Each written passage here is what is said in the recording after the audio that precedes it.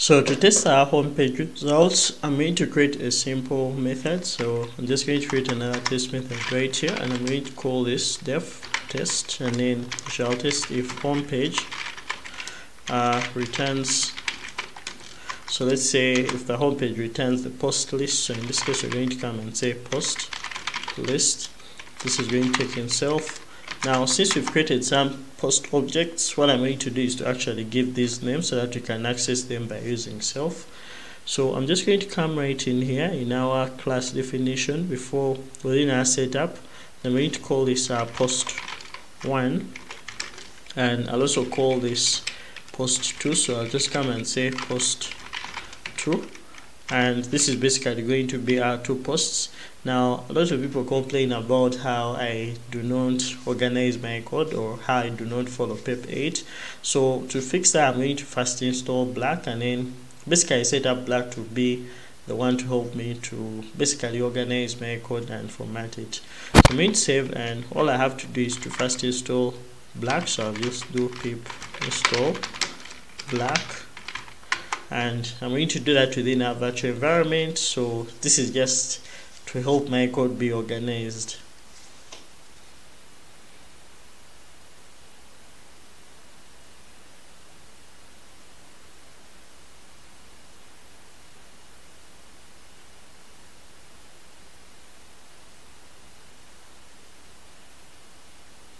So once black is installed I'll just basically go ahead and reformat all the code that I've written so far so I can be able to point to a point to a, to a specific folder so I can just maybe do something like python my dash m black so and then I point to a specific folder. For example in this case let's say we're going to test uh, to reformat our post the code that we've written in our post folder.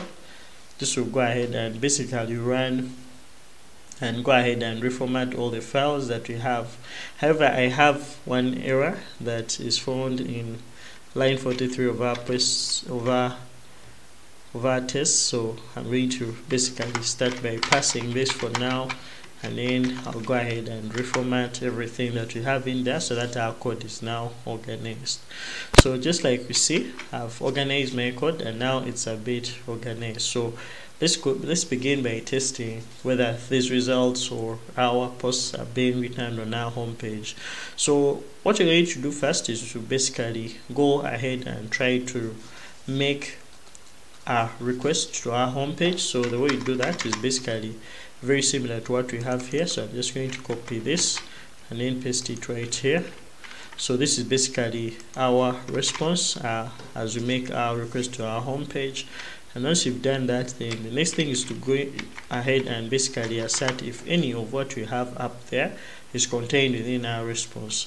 So the way we do that is by coming right here and saying self dot assert and then in this case we're going to use assert contains and then we're going to check we're going to provide our response object and then we're going to check if our self dot title or actually it's going to be self dot post true. So this is going to be self or let's just say we are going to check for the string representation of our post or which is actually going to be equal to our title. So we may do something like self but in this case we may access our post or it's actually going to be self uh, post 1 and then this will be post 2 so what we can do is actually access our posts by saying uh, let's say we're going to access our sample post 1 and sample post 2 so let me say that we're going to get these strings so I'll just access them and then come here.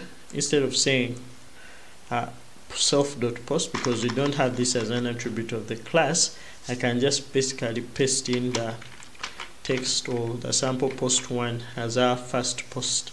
And then I'll also check if our second post title exists so I'll just say assert contains and then in here I may just come and say response which is going to be our response object and then I'll provide our string title of sample post 2 and I go ahead and save. And let's try to run this test and see whether it will pass. So when I pull up our terminal right here and try to run our test once again. So do that with python manage.py test so in this case when we run our test we see that we've run two four tests but we have one test failing. So we couldn't find sample post one in the response that's being returned in our response to our homepage. So let's go ahead and try to return all these posts on our homepage. So to do that we're just going to go to our index.html and then go ahead and basically write all our posts by looping through them. So the first thing we shall do is to basically query them in our view and then return them with our response. So we shall go to our views.py and then within our view function we're going to make a simple query for our post so I'll just come and say posts is going to be equal to so we're going to import our model by saying from dot models.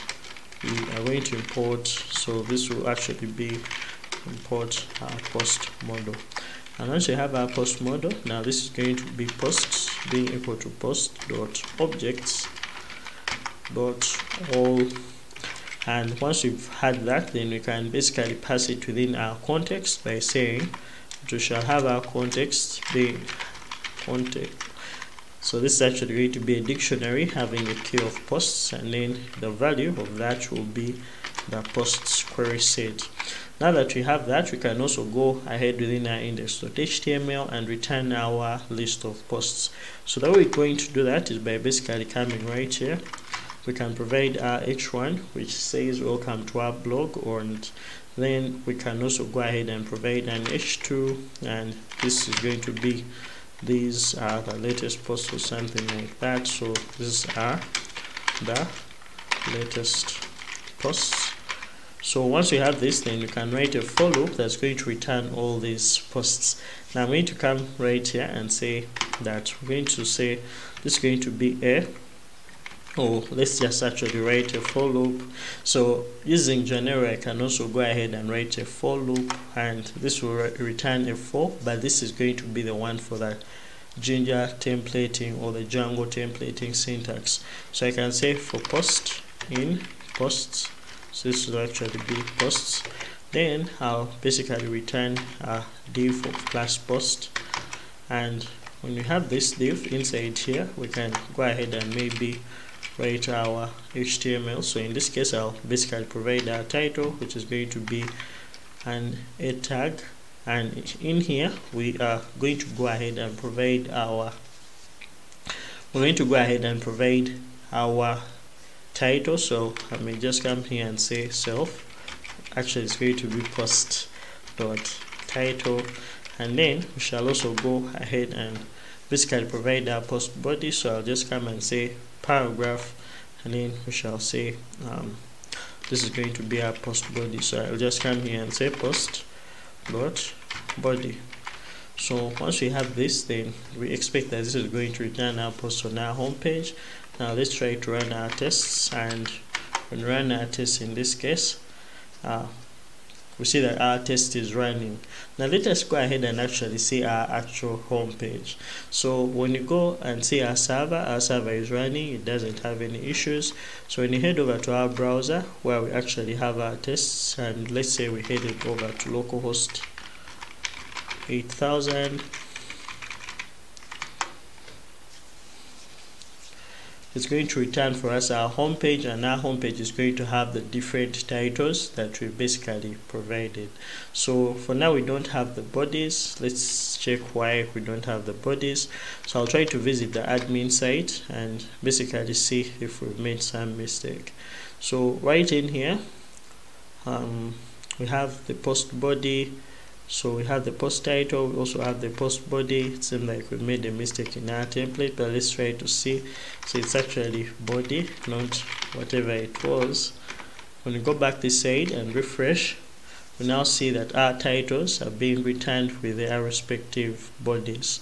So we can also go ahead and maybe truncate the words and so that we basically have some uh, very few uh, what's being written in the post body. For example you can just come right here and then say use the filter of truncate words. So you can just say truncate words and then we basically specify that we want to use 30 words for each of the posts that we have. So when you refresh we now see that each of the posts is going to actually return only 30 words on our home page.